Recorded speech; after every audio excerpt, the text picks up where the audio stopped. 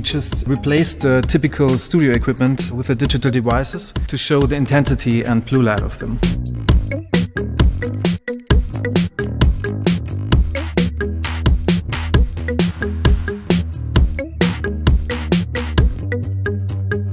I'm always looking at screens. 我试着用我的眼睛休息，但是还是不行。 E lo si prende sempre in mano.